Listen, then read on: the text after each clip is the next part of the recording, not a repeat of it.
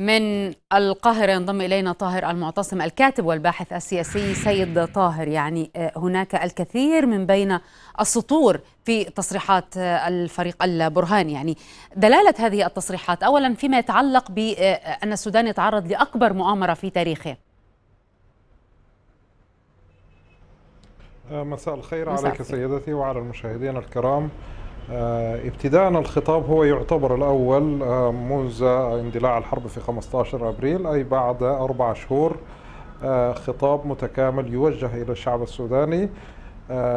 كان للفريق أول عبد الفتاح البرهان ظهور عدة مرات وسط جنوده وحديث لجنوده ولكن مخاطر الشعب برؤية وبوعود.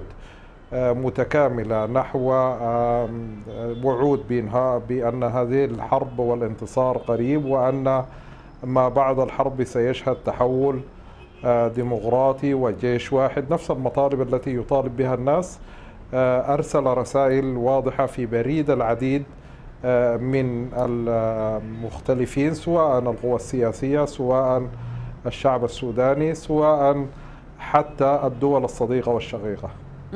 طيب فيما يتعلق بالحديث عن إجراء انتخابات أو تهيئة الأجواء لإجراء انتخابات يعني هل تعني استمرار الحرب وانهاء مسألة التفاوض أم أنه يعني بذلك أنه قادر على إنهاء هذه الحرب وبالتالي تهيئة الأجواء؟ الحديث عن الانتخابات هو رسالة مهمة في تقديري. للقوى المدنية المطالبة بانتقال مدني ديمقراطي. يحاول أن يضع رسائل في بريدها أن القوات المسلحة السودانية هي مع الانتقال الديمقراطي ومع الانتخابات وليس مع الجلوس على الكرسي أبد الآبدين. بالتالي أنا أعتقد أن هي رسالة فحواها أن الجيش السوداني قادر على استعادة زمام الأمر. وأيضا لم يقفل الباب أمام التفاوض في تقديري عندما أرسل رسائل إلى دول الجوار. طيب اجتماع إثيوبيا يعني هو مسار سياسي، هل ترى إنه قادر على قيادة البلاد بالفعل إلى هذا المسار والحديث عن اتفاق إطاري سوداني أو إحياء هذا الاتفاق؟ في تقديري أن هذا الاجتماع مهم جدا. الصوت المختفي هو الصوت المدني. منذ اندلاع هذه الحرب لا يسمع السودانيين إلا ضرب النار والرصاص وغيرها.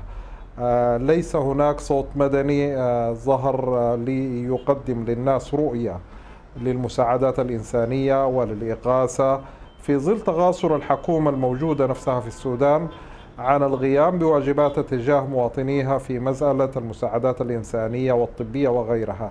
أنا أعتقد أن اجتماع أديس أبابا اجتماع مهم وله ما بعده بحسب بعض المعلومات التي وردتنا أن القوى الموقعة على الاتفاق الإطاري ترغب في في وضع رؤية لمسألة المساعدات الإنسانية والإغاثة والإعادة التعمير.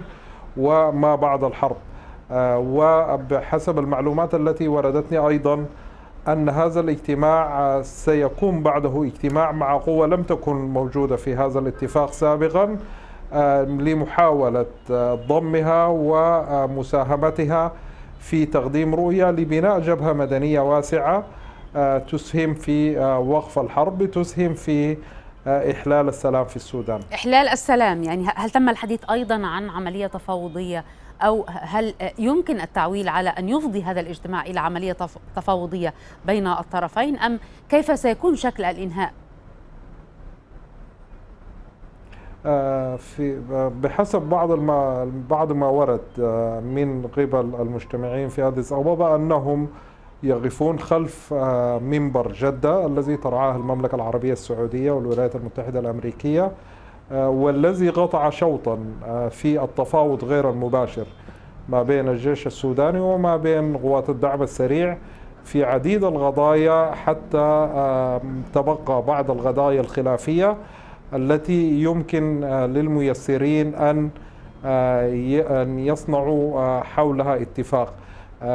وأيضا تسمين لكل جهود دول الجوار الدول الصديقة والشقيقة سواء اجتماع رؤساء دول الجوار الذي انعقد في 13 يوليو في القاهرة ووزراء الخارجية دول الجوار في انجمينا قبل أسبوع وأيضا الاتحاد الأفريقي. الاجتماع يهتم جدا بآليات مؤتمر منبر جدة والوصول لإحلال سلام ووقف الحرب. إذا من القاهرة طاهر المعتصم الكاتب والباحث السياسي شكرا جزيلا لك.